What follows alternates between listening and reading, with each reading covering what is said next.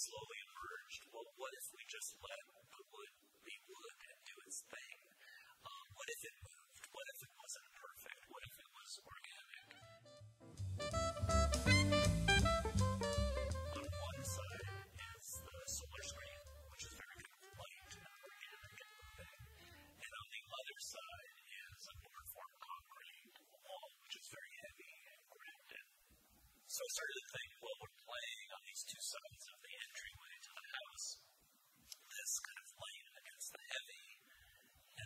start to play with the shadows of the solar screen. And the light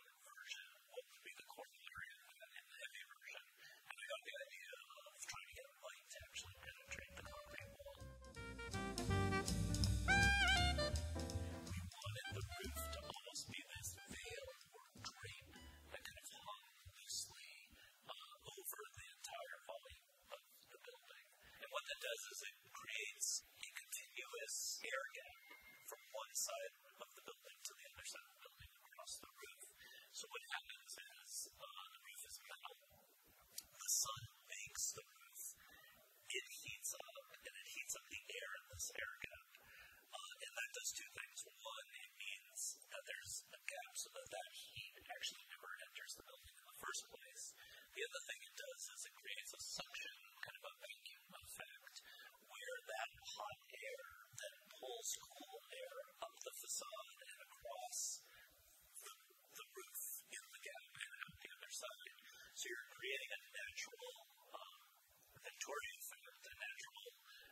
overfloweth